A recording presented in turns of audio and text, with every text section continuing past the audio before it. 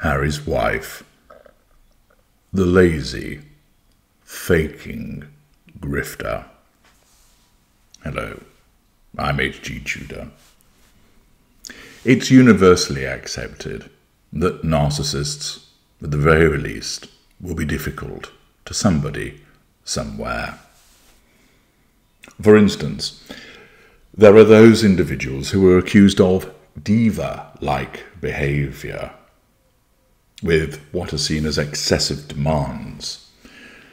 That the rider, when they appear in concert, is ridiculous. That things have to be just so. Nevertheless, they are tolerated. Why? Because that person delivers.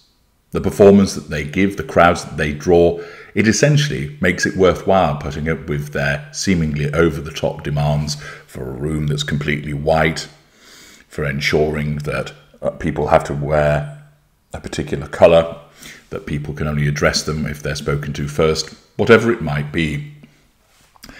Those narcissists which are in the entertainment industry who are at the top of their game, that draw millions of people on their tours, that are fantastic composers of music, brilliant singers, possibly those that are uh, hilarious comedians, whatever it might be.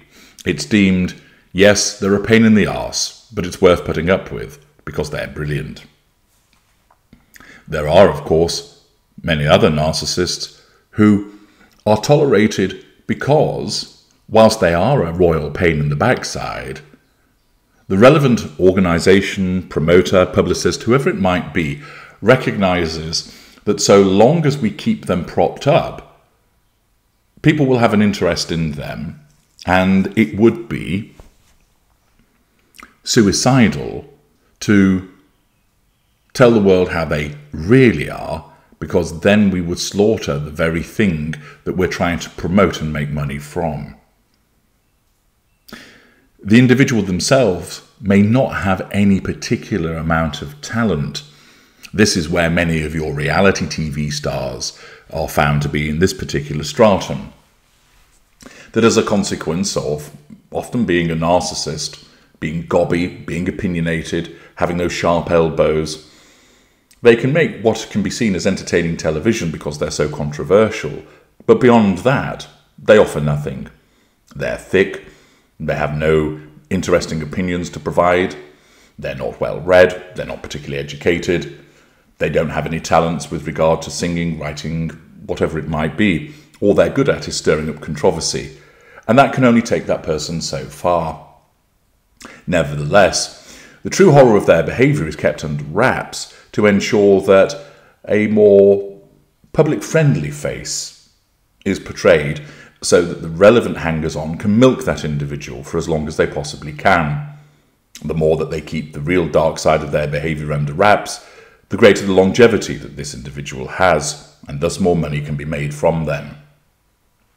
There is little point in telling the world about how they really are, as that would result in the bubble bursting, and in effect, those that benefit off that individual would be cutting off their nose to spite their face.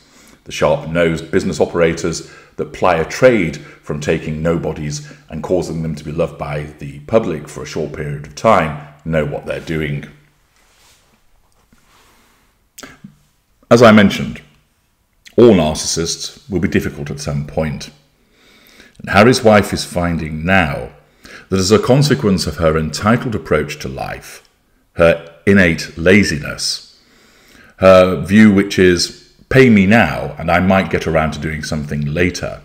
Or, I'm Harry's wife, you should just pay me because I am her.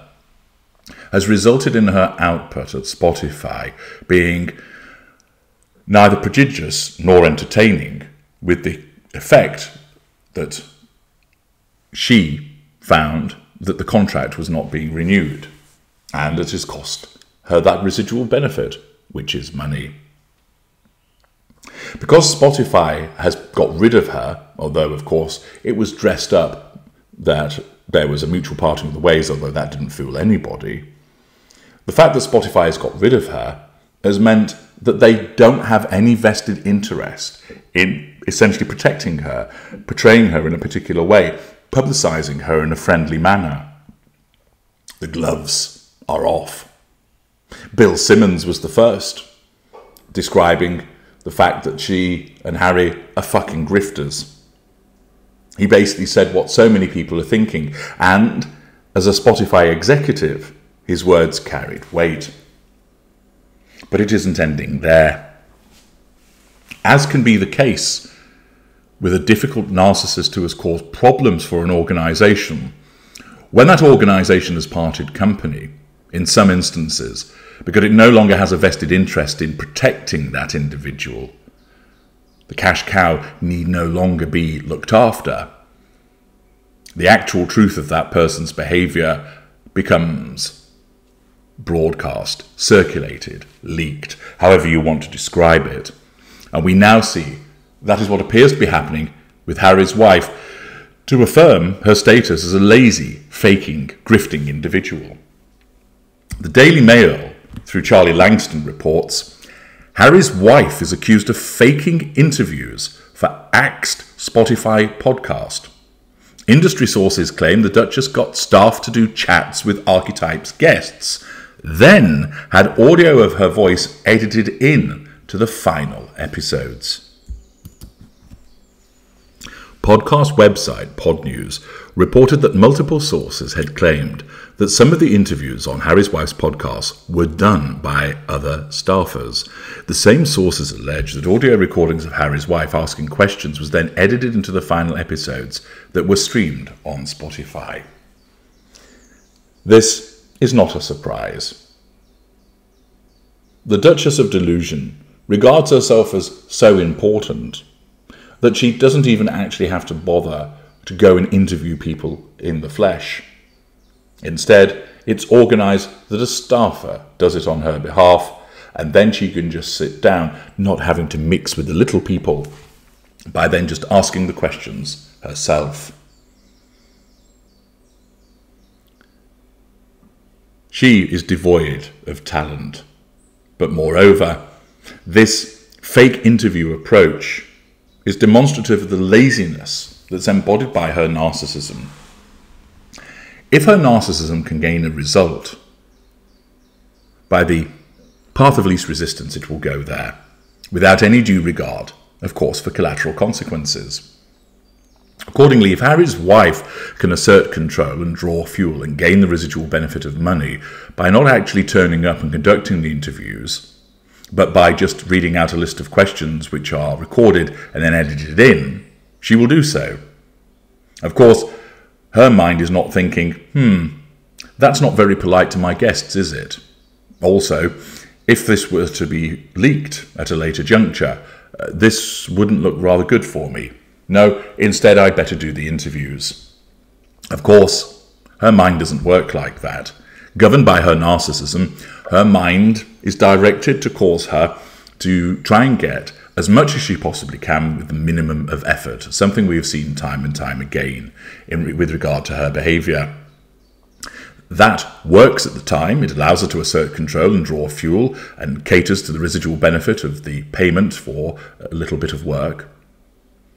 But the narcissism has no regard for what might come next, months down the line, when, with Spotify having parted company from working with her, it's then leaked how difficult she was and how little she was involved in the actual process. This isn't a surprise to people, but it doesn't make her look good, and it also demonstrates to anybody else who might stupidly be interested in signing her up for something do you really want to be involved with someone who wants to take millions of dollars from you and puts in such little effort? Do you really want to work with somebody who takes the piss out of your organisation and doesn't show the common decency to the guests to even sit and look them in the eye and ask the questions. Why would you want to send money to somebody who behaves this way? The short answer is you would not want to. Yet this is once again demonstrative of the way that her narcissism functions. She has no due regard for the way that people are wanting to be addressed in a courteous manner, uh, manner, for them to be asked the questions directly. She's perfectly content to create the impression Once again, the narcissist performance of one, where she creates the impression that she was involved, that she asked the questions. In actual fact, somebody else did the heavy lifting, and she just breezed in when it suited her to go through a list of questions, not have to sit and listen to anybody, not have to sit and make small talk with them, not have to chew the curd. But no, she could just go in, ask the questions, have them edited in, and then waltz out again and pick up the paycheck. The article continues by explaining Harry's wife has been accused of faking several interviews for her Axed Archetypes podcast by industry sources, who claimed that the Duchess had staff members on the show conduct interviews with her guests, before audio of her voice was edited into the final episodes. The allegations, which come just days after it was revealed the Sussex's $20 million deal with Spotify had been ended in a mutual agreement, were reported by podcast focused outlet Pod News.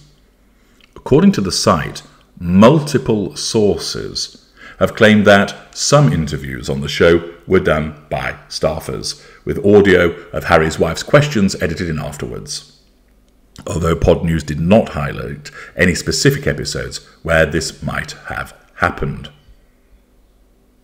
Harry's Wife 12 episode podcast featured a series of high profile guests during its one season run, including Mariah Carey, Serena Williams, and Mindy Kaling, the latter of whom actually shared an image of herself being interviewed by the Duchess when her episode aired. However, while Harry's wife may have interviewed several very high profile guests for the audio show, this is not the first time the questions have been raised about her input into the interview process for other people who appeared on Archetypes. In August last year, podcast guest Alison Yarrow, a journalist from New York, revealed that she didn't actually speak to Harry's wife when being interviewed for the show, but rather a member of her production company. Alison, who appeared on an episode of the show called To Be or Not to Be, in which she explored the origin and plague of the word bitch, revealed in a social media post shared shortly after her interview was recorded that the chat had taken place with an audio producer called Farah Safafi. Sharing an image of herself in front of a sign for Gimlet, an audio production company, Alison then thanks Farah in the caption for being such an excellent interviewer. Last week, Spotify and the Sussex's audio production company Archwell Audio issued a joint statement about the decision not to renew Harry's Wife's podcast for a second season, saying they had mutually agreed to part ways. The statement continued We are proud of the series we made together. The decision to axe the Duchess's Female Foes podcast followed reports that Spotify had been engaged in discussions about renewing the series. However, those conversations are understood to have stalled. One day after news of Harry's wife and Harry's Axe Spotify deal was made public, the streaming giant's head of innovation and monetization, Bill Simmons, spoke out to slam the Sussexes as fucking grifters in an episode of his own podcast. Unsurprising that Harry's wife, driven by her narcissism, hasn't been involved in the process to the extent that she might have portrayed.